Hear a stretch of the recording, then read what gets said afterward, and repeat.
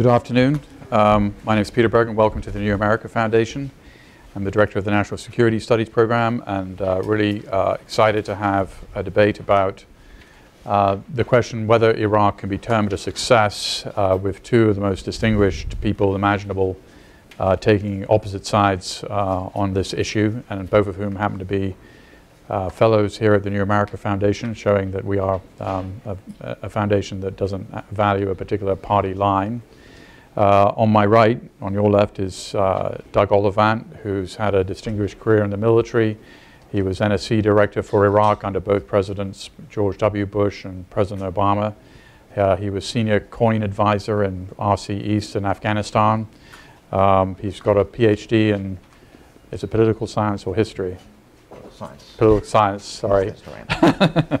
uh, and um, he will be arguing that Iraq is a success. Um, and on my left, on to your right, is Lieutenant, Col Lieutenant Colonel Joel Rayburn, who's also had a distinguished career in the U.S. military, still active duty.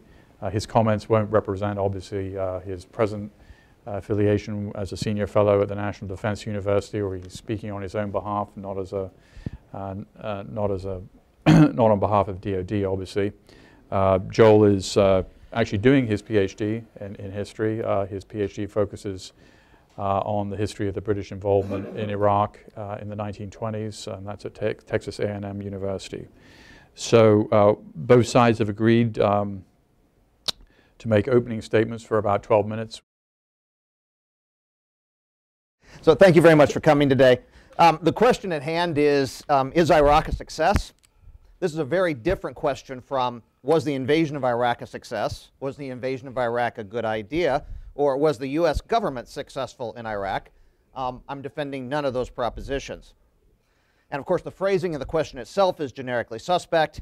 Uh, to borrow Mao's famous quote when he asked what he thought of the French Revolution, it's too early to judge. So let me instead defend a more modest proposition.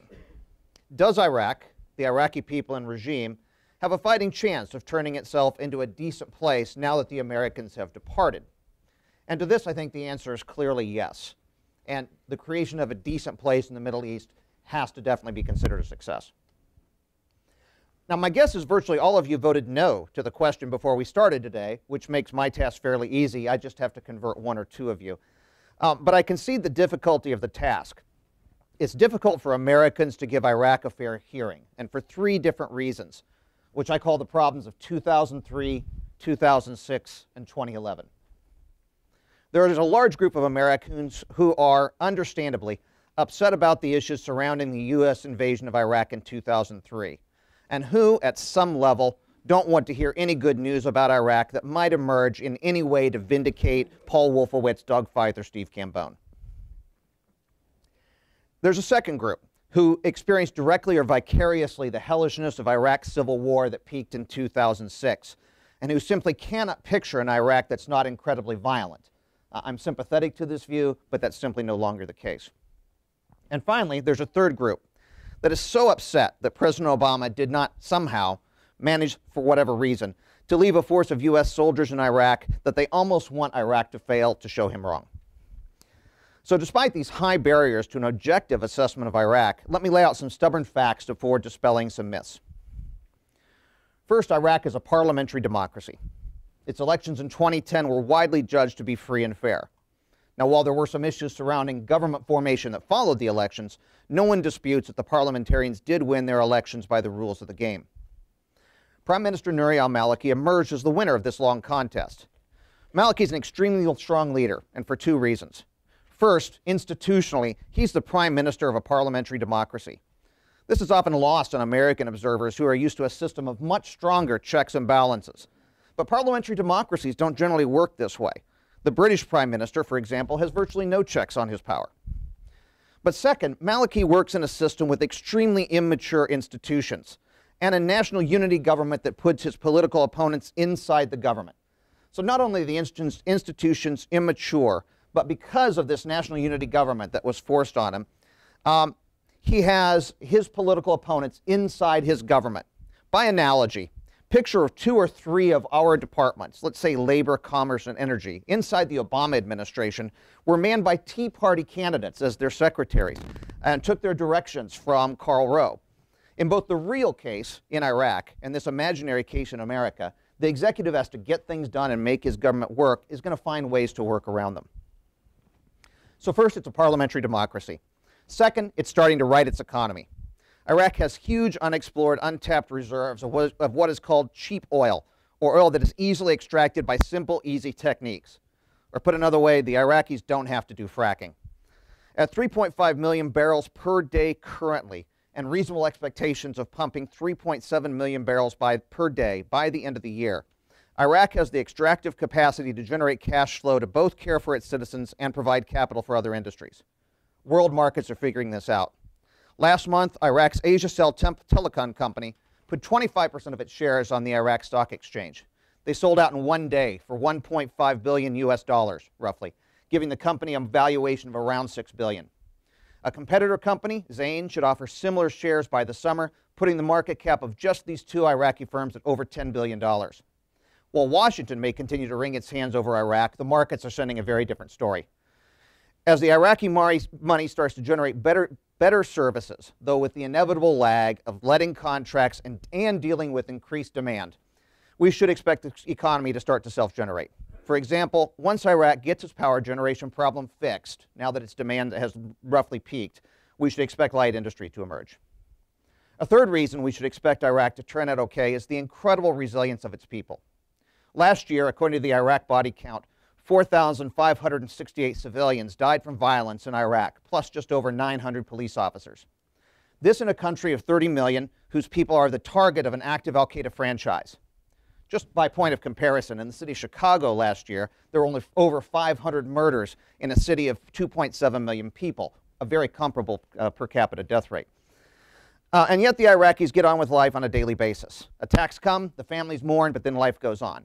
It's an extremely admirable trait as the Iraqis refuse to let terrorism define them. And most importantly, they have refrained to date from retaliating against the Sunni population from which the Al Qaeda terrorists um, take their refuge. A fourth reason is that while terrorism is not defining, it is being fought. The GOI is combating terrorism as best it can. However, the tools it has at its disposal are blunt ones. Not unlike, as needs to be pointed out more often, the ones the U.S. Army used from 2003 to 2005 until Stanley McChrystal recrafted JSOC. Lamentably, it's difficult to see the Iraqis generating a JSOC-like capacity in the near future.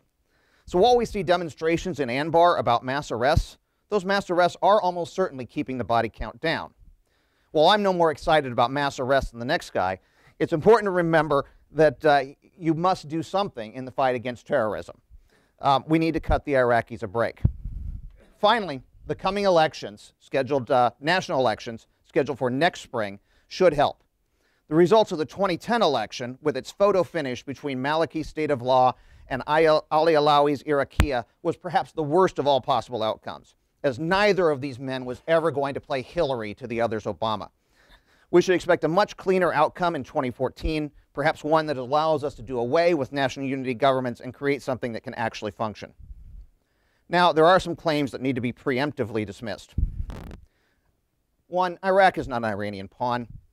Yes, there is Iranian money in Iraqi politics, just as there is Saudi, Qatari, Turkish, and perhaps even American money and Iraqi politicians of all stripes do fly to Tehran to visit.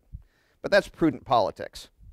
Iraq is dead set on a long term strategic relationship with the United States as it's continuing to build its military around the M16 rifle, the M198 howitzer, the M1 tank, and the F 16 fighter, all American produced, continues to demonstrate. Iraq is dead set on fully implementing its strategic framework agreement with the United States and in fact, the Iraqis often complain they do not find much enthusiasm on the American end for implementing the non military clauses. Where are the Iraqi students, military and civilian? In fact, a democratic Iraq is the greatest long term threat to Iran. Iraq is providing to the Iranians another model for how a Shia majority state could be run. Iran's claim to legitimacy, Tehran's, is that the Shia must live under clerical theocracy. Iraq shows daily that's simply not true. And it grows more true each day that Iraq's oil's revenues expand and Iran's contract, tectonically shifting the balance of power between these neighboring states. If you want to undermine Iran, back Maliki. Second, Maliki is not out to destroy the Sunnis. no one seriously believes that the Charlie's charges against Hashemi and Issawi are groundless, though they may not be quite as, uh, quite as portrayed either. Um, but again, the mass arrests of Sunnis are much better explained as the best tool the GOI has in its fight against al Qaeda in Iraq. Again, it's not perfect, I'm not endorsing it, but it's not random and baseless either. We need to remember a stubborn fact. The Sunnis of Iraq tried to overthrow the democratic democratically elected government in 2005 to 2008 and lost. When you do this, try to overthrow a government, instill a civil war, and you lose, you very seldom then just get to fall back to your normally democratically allotted share of power. For someone who has lost a civil war, the Sunnis of Iraq have it pretty good. Um, I would suggest that both the Serbs of Kosovo and, for that matter, the South Carolinians of 1866 would be very glad to have the deal that Iraq Sunnis do. Fourth, Maliki is no authoritarian. He operates forcefully, but he's far more measured than any other leader in the region, uh, most emphatically including the Barzanis of the KRG. His regime is clearly more decent than that of Syria, Iran, Qatar, Saudi Arabia, Bahrain, and Kuwait, less authoritarian than the KRG in Turkey, leaving only Jordan is perhaps the only near peer among his neighbors, though Jordan is measurably less democratic and accountable. Uh, grading on the curve for the region, Maliki's doing okay. In short, Maliki's no dictator. I'm not equating him with Mother Teresa either. He was the executive power during a civil war, which always demands some temporary and regrettable measures, as American leaders from Abraham Lincoln to FDR have uh, shown us in our own case. But the combination of a decent government in Baghdad, the resilience of the Iraqi people, and the oil wealth that will, frankly, allow the Iraqis to buy their way out of a lot of problems should make us all relatively optimistic that Iraq will be a success. Not because of America's mismanaged occupation, but because of the Iraqis, an old and noble people, will make it so. Let us uh, stipulate some ugly facts up front. Iraq remains a weak state. Its political institutions are charitably immature. Were it not for oil, there'd be no real economy. There's a serious terrorism problem. Relationships with all the neighboring states are problematic.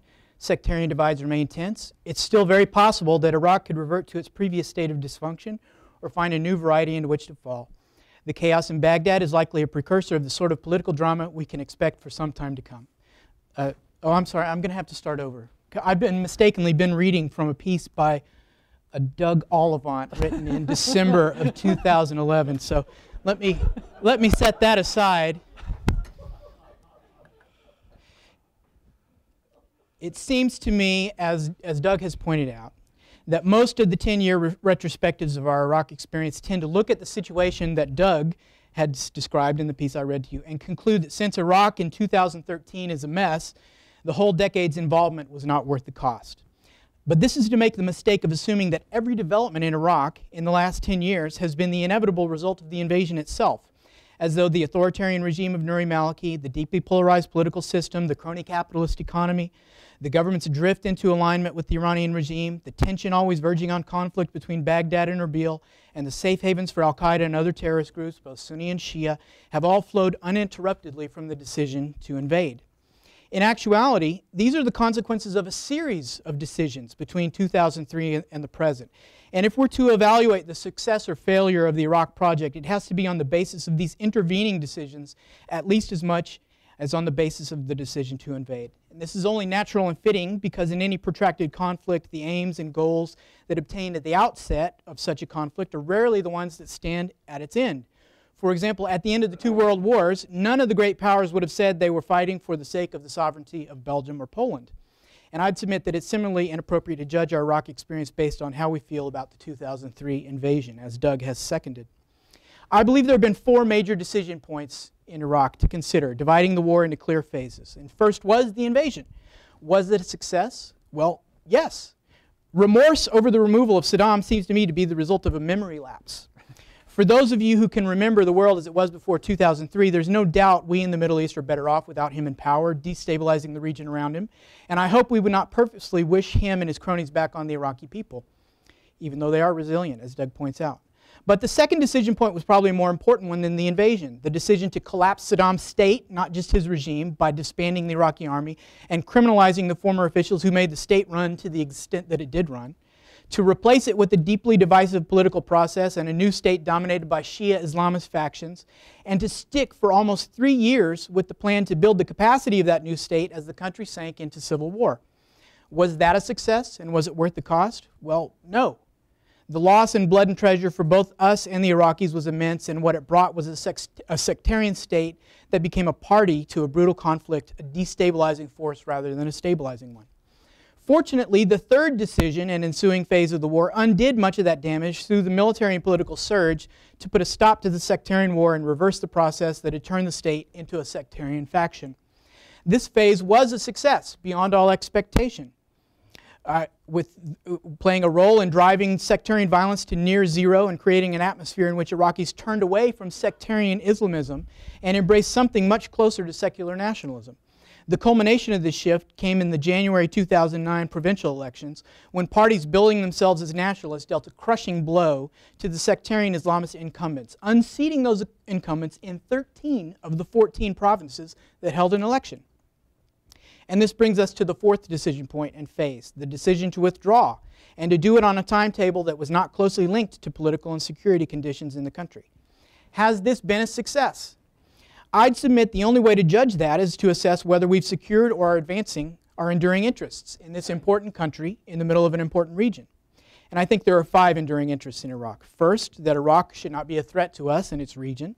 Second, that Iraq should not be a sanctuary for transnational terrorist groups. Third, that Iraq should not be under undue Iranian influence.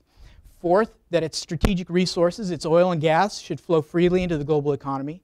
And fifth, and finally, that in support of these other objectives, Iraq should be stable, both in political and security terms, not just for Iraq's sake, but for the sake of the entire region.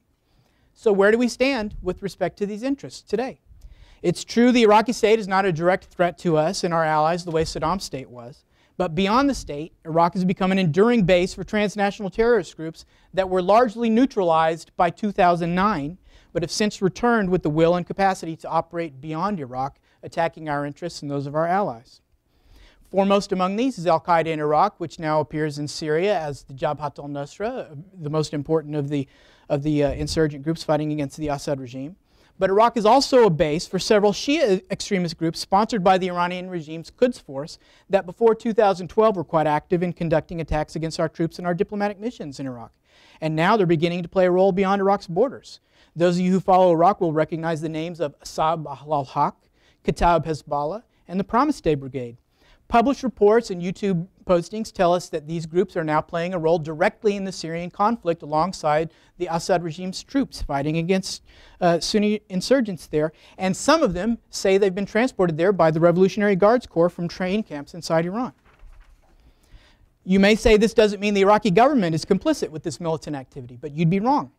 Asab al Haq, which is the most lethal of these groups that I've mentioned, is the prime example. This militant group has been embraced by Prime Minister Maliki and his party, who have welcomed the group as it rebranded itself from a political party that claims credit, uh, uh, rebranded itself from being a, strictly a militant group into being a militant group plus a political party that claims credit for having militarily expelled us from the country. And this leads us to our third interest in Iraq that the country not be under undue Iranian influence or control. Unfortunately, Iran does exert a great deal of influence in Iraq today, as we see in both small and large signs. One small sign is that Prime Minister Maliki has welcomed into his office as a senior advisor Abu Mehdi al Mohandes, the top Iraqi deputy of General Qasem Soleimani, who is commander of Iran's Quds Force. But a larger sign of Iran's undue influence is that the Iraqi government has adopted policies in harmony with those of the Iranian regime and hostile to our own on at least four major issues in the region for example, the Bahrain crisis of 2011, on which Iraqi politicians denounced the U.S. position in, in, in, the, in Bahrain and our presence with the Fifth Fleet. Secondly, a war of words with the Erdogan government of our NATO ally Turkey. Third, in the international sanctions against the Iranian regime, which the Iraqi government has on multiple occasions stated its intention to ignore. And lastly, in the Syrian civil war, where Prime Minister Maliki himself declared that Bashar al Assad should not fall and that there is no reason for him to fall.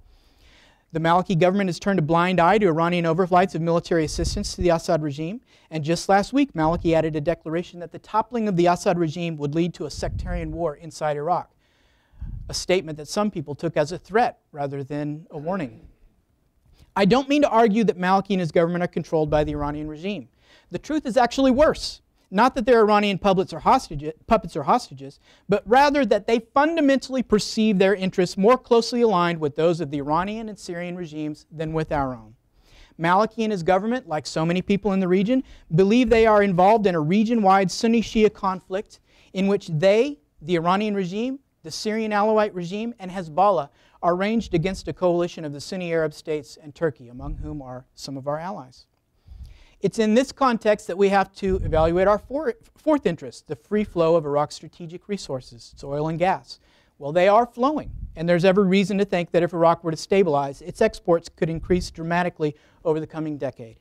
But what would we think of those increases if Iraq and Iran were to form an export bloc controlling the production of more than 7 million barrels per day?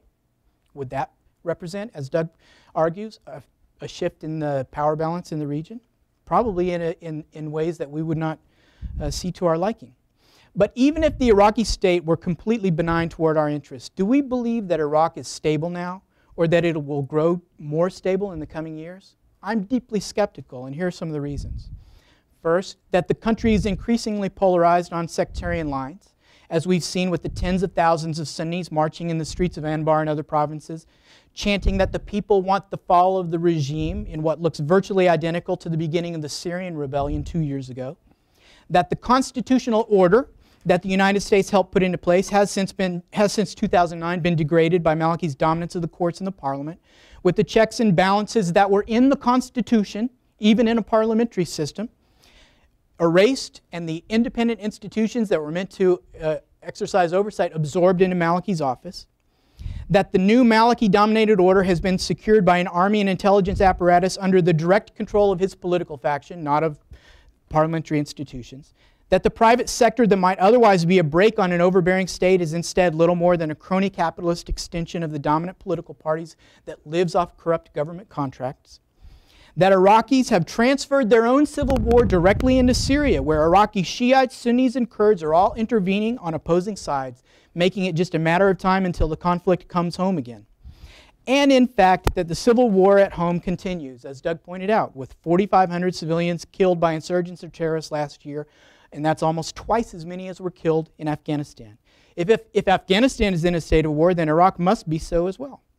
It was also more people killed in 2012 than were killed in 2011 in Iraq, despite the fact that American troops are no longer there to draw fire, which refutes the old theory that when U.S. troops departed, the violence would depart as well.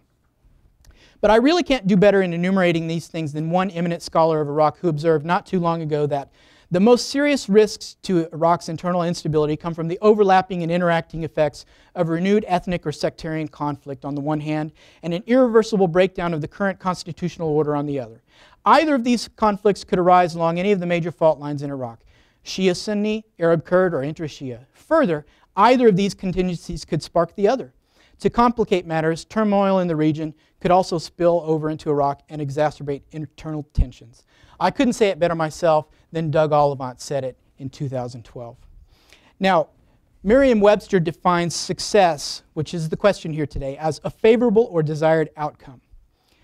The fourth phase of our experience in Iraq stands out among other similar cases in American history, including Germany, Japan, and South Korea, for the way in which a favorable or desired outcome seemed not to be the object. I'd ask you, do we believe that Germany, Japan, and South Korea would be what they've been in the world and are today if six decades ago we had treated them the way we've treated Iraq in this fourth phase?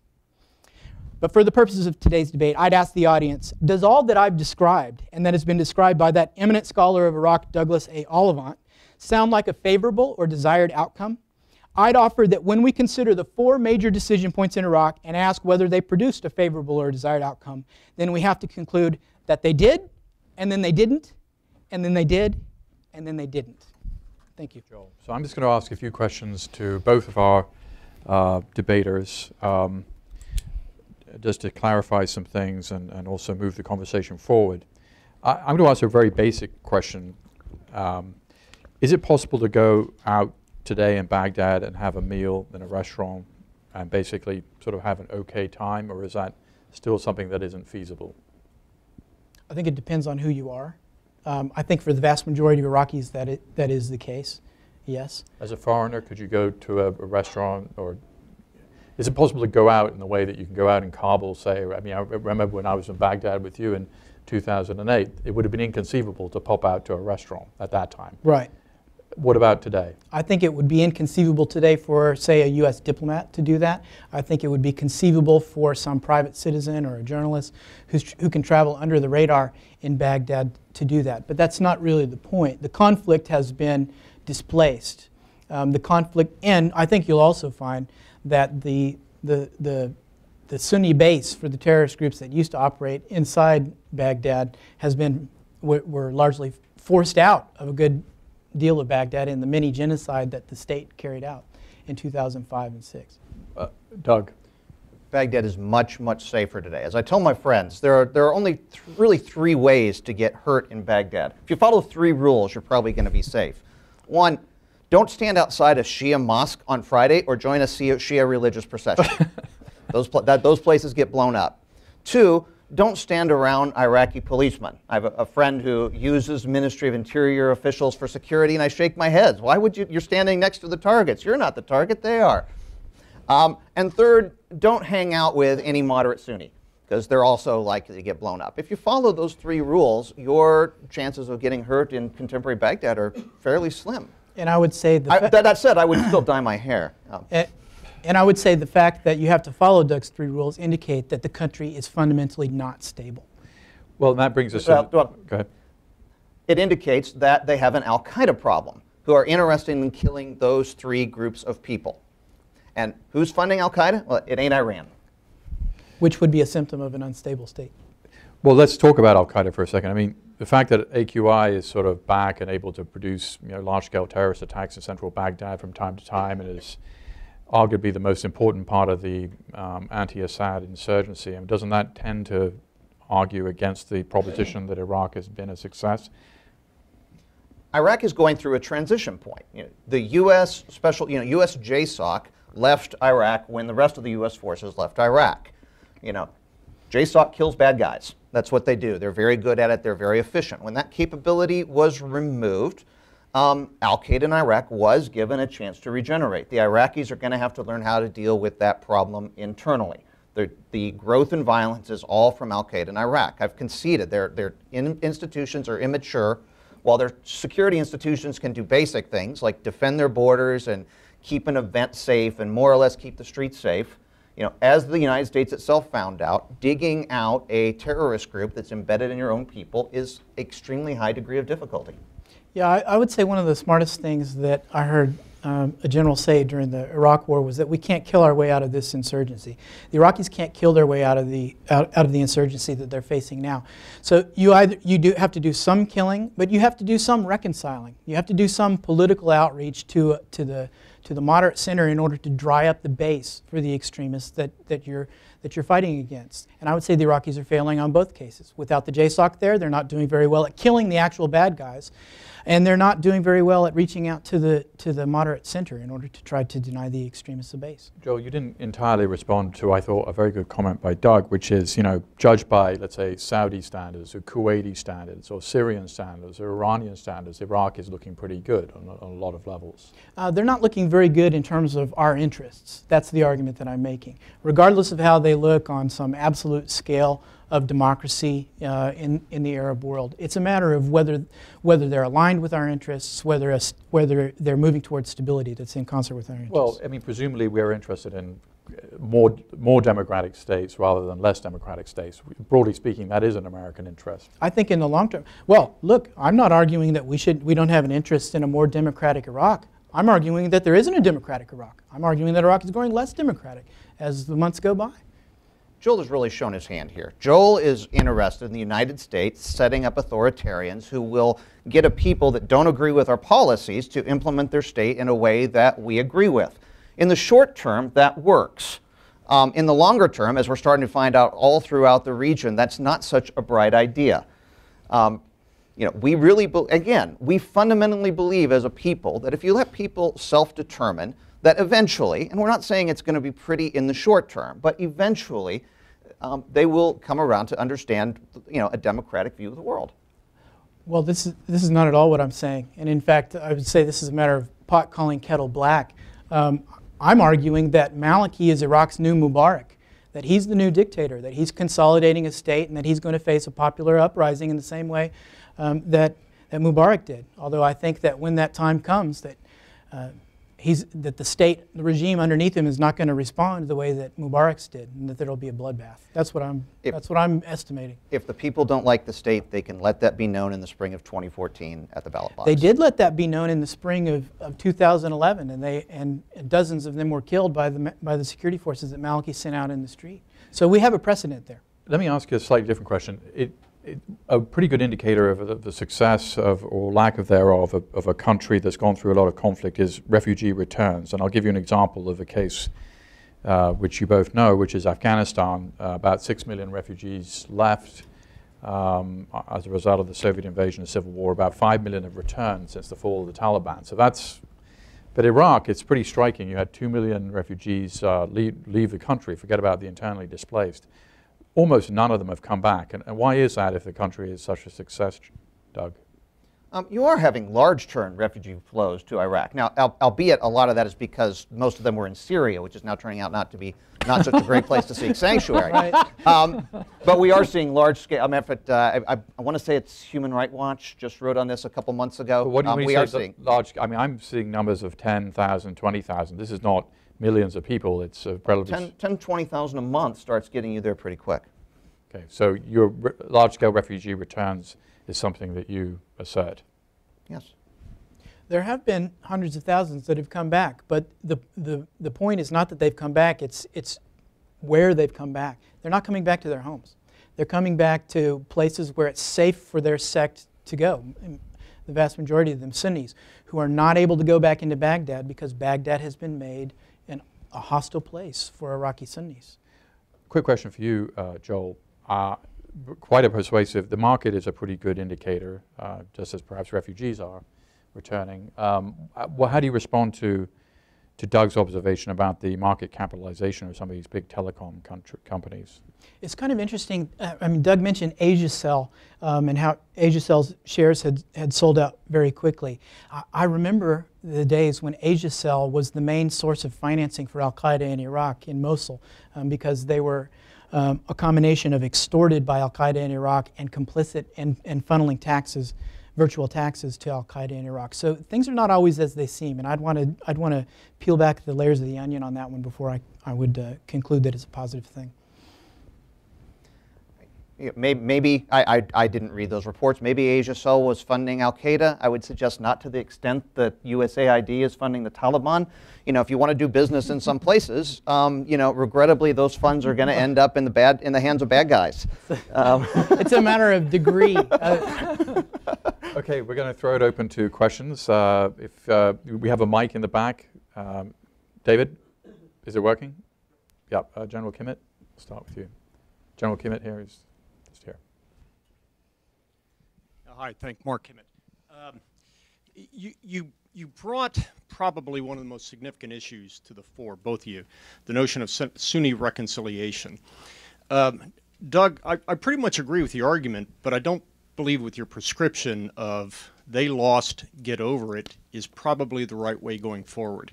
I think it's important not only for their interests, but our interests to recognize that the Sunni Arab world is looking at what's happening in Iraq and they're taking sides. So while the comment may have been a bit sophomoric, perhaps you can give us some better articulation of a, of a better Sunni reconciliation or Sunni adoption policy that you might recommend. That said, I probably agree with everything else you said and am voting on your side. Yeah, but you probably came in that way, so that doesn't help. me. um, look, I think as as the case in Syria is about to show us, as the Alawites are about to learn in a very painful way, if you're a minority sect who uses violence to rule over country for a long period of time, it's going to be ugly in the aftermath. That said, um, I think it's clearly in Nuri al-Maliki's interest to bring down the heat on this issue. And I think he would be a fool, and no one's claimed him of being a fool, were he not to find moderate Sunni groups that he can work with. I mean, if, if the leaders of these former Islamic parties that were linked with terrorist insurgent groups have to be ostracized, fine. Find new leaders, legitimate leaders. You can't, you know, bake your own. But find legitimate leaders that are out there that you can work with and make it clear that via these leaders, uh, you welcome the Sunnis into your coalition. Yeah, I, I, just see him going in the opposite direction. He is trying to bake his own Sunni leaders. He's trying to pick who represents the, the Sunni community, um, which, is, which is to detach Sunni leaders from the, from the Sunni from the Sunni base, um, and he's getting burned every time he does that. And it'll, it, this will reflect itself in provincial elections if they're held uh, next month as there's, as there's meant to be held. Okay, well, thank you very much to both.